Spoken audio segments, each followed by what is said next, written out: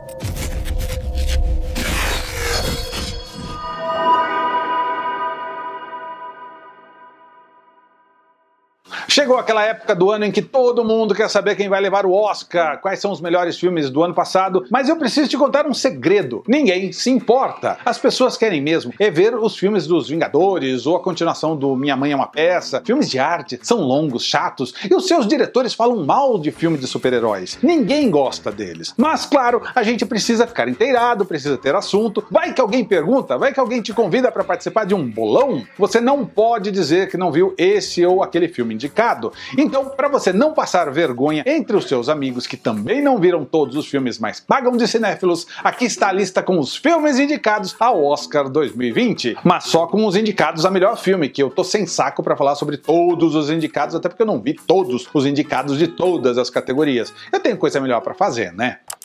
Ford versus Ferrari. Executivo da Ford toma um não da Ferrari e decide chamar um construtor de carro e um piloto para bater neles na famosa corrida de Le Mans. A história original é bem legal, vale dar uma olhada. Tem até um documentário chamado Guerra em 24 Horas na Netflix. Veja, é muito melhor que o filme. Ford versus Ferrari não é ruim, mas é um filme de corrida, com os clichês de filmes de corrida, narração de filme de corrida, tédio de filme de corrida. Quando você for comentar sobre Ford versus Ferrari com seus amigos, diga o seguinte: não sei como esse filme está na lista dos indicados a melhor filme. É um filme sessão da tarde. O irlandês. Martin Scorsese ganhou um caminhão de dinheiro da Netflix para fazer esse épico com quase 4 horas de duração sobre um irlandês envolvido com a máfia e com o chefe do sindicato dos caminhoneiros lá nos Estados Unidos. Um filme de gente grande que ninguém além do próprio Scorsese queria fazer. Tem chance no Oscar? Tem, mas dificilmente leva. Sobre o irlandês você diz o seguinte: os velhinhos da academia não gostam da Netflix, acham que não é cinema.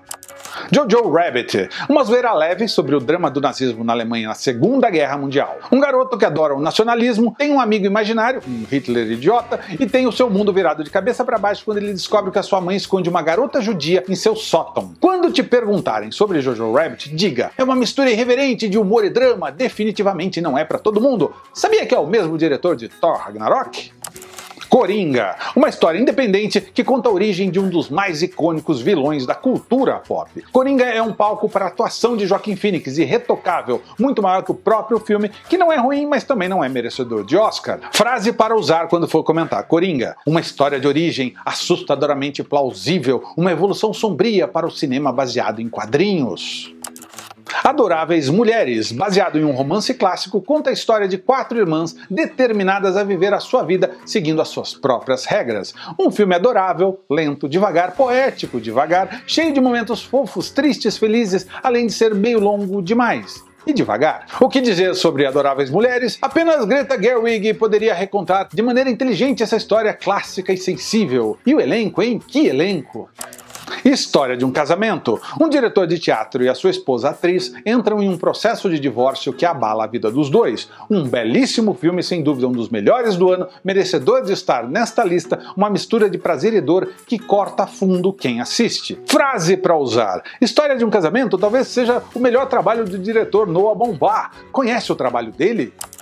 1917. Dois jovens soldados britânicos precisam atravessar território inimigo para entregar uma mensagem que pode salvar a vida de milhares de soldados aliados. Uma obra-prima bem filmada, eficaz, que apresenta os horrores da guerra com os momentos bem limpinhos. Tem tudo para levar o Oscar de melhor filme deste ano. Comente assim quando for falar desse filme. 1917 captura a guerra de trincheiras da Primeira Guerra Mundial com uma imersão surpreendente. E que fotografia! Era uma vez em Hollywood. Rick Dalton é um ator de cinema inseguro, preso em séries de TV, e seu único amigo é o dublê Cliff Booth. E os dois vivem uma Hollywood que eles não mais reconhecem. Tarantino sendo Tarantino divertido, com seus personagens aprontando altas confusões. Corre por fora, não deve levar. Frase para usar: Tarantino continua divertido, mas nitidamente evoluiu e se tornou um cineasta mais maduro. Parasita. Uma família pobre dá um jeito de se infiltrar e viver às custas de uma família rica. Drama social perverso e absurdo, cheio de mensagens cifradas e reviravoltas. Só demora um pouco para chegar no ponto realmente interessante. Para não fazer feio, diga: Parasita é um olhar urgente e cheio de camadas sociais com uma direção impressionante. Mas se levar o Oscar, eu vou me surpreender. Pronto, você está preparado para assistir ao Oscar 2020 com seus amigos e não passar muita vergonha na hora de comentar sobre os indicados a melhor filme. Quando você estiver assistindo e chegar à premiação dos melhores filmes, você diz o seguinte: O Farol foi o melhor filme de 2019, eu não sei como ele ficou fora da indicação de melhor filme. Onde se viu Ford vs Ferrari está no lugar dele. Pronto, você se coloca num patamar superior aos seus amigos que com certeza não assistiram a O Farol. Então é isso que o Oscar 2020 seja menos entediante de que o Oscar 2019, que o Oscar 2018, que o Oscar 2017. Gente, essa cerimônia do Oscar é muito chata, credo. Deixa uma mensagem nos comentários dizendo se você ainda se importa ou não com o Oscar. Deixa sua opinião, ela é muito importante, ajuda a desenvolver o canal. E é sempre bom lembrar que os vídeos do canal vão saindo conforme vão sendo produzidos, então ative o sininho, receba as notificações de novos vídeos ou apenas fique ligado no canal. Só o ao vivo semanal tem hora certa para sair, é toda terça-feira às 10 horas da noite. Então se inscreva, deixe o seu like e aprenda que o nerd rabugento não dá dica ruim.